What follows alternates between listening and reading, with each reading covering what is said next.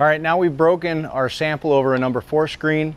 We've been able to classify our rock. We've been able to classify our minus four fraction, which is going to be your sands, your silts, and your clays, and we're going to get measurement or get weights on both of those.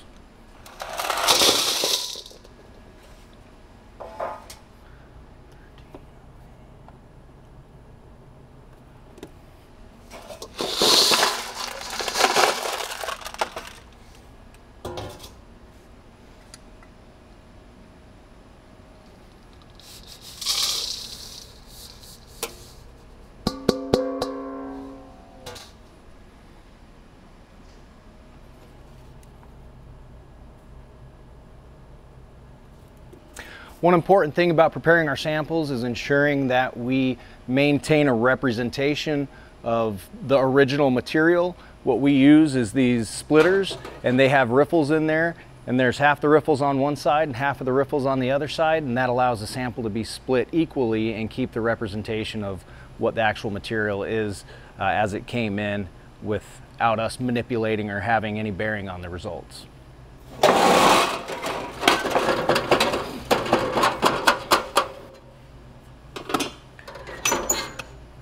Now that we've got a representative split, we'll be able to use this material right here for a minus 200 wash, our plasticity index, and many of the other different uh, tests that we're going to perform on this portion of the fraction of the material.